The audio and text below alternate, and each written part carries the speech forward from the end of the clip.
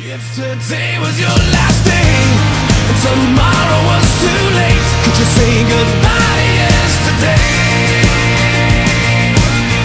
Would you live each moment like your last? Leave old pictures in the past. Donate every dime you had.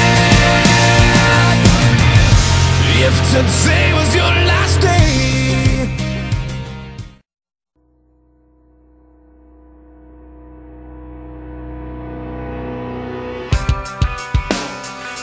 if I wanted to break? Laugh it all